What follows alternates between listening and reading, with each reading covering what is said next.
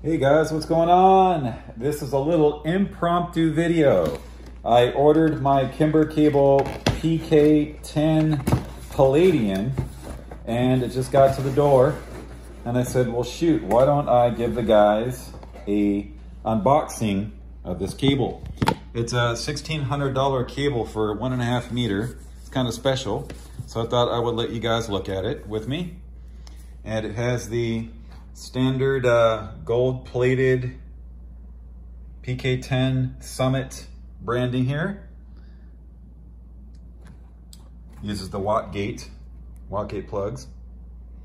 And what do we have here? So this, oh my God, this is where the magic happens. This, this is where all the windings are. Let's see if I can do this one-handed for you guys.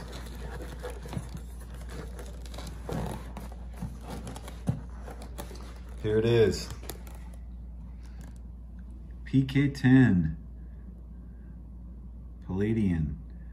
So this, uh, the windings, the way that the geometry of the windings are in the copper in here, uh, it, it, it basically block, uh, uh, the, the technology is too hard for me to even explain.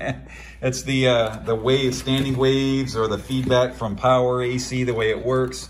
It uh, uh, prevents distortion. And I have my PK14 Palladian, the older style, uh, with the purple uh, jacket.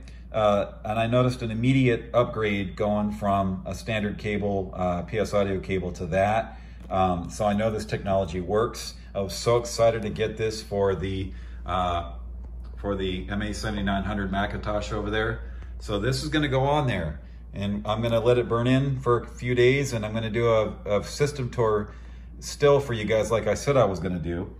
Uh, but I wanna put this on for a couple days to get it burned in a little bit so that when we play the demo, you'll be able to hear it with this cable on there. This is how it comes.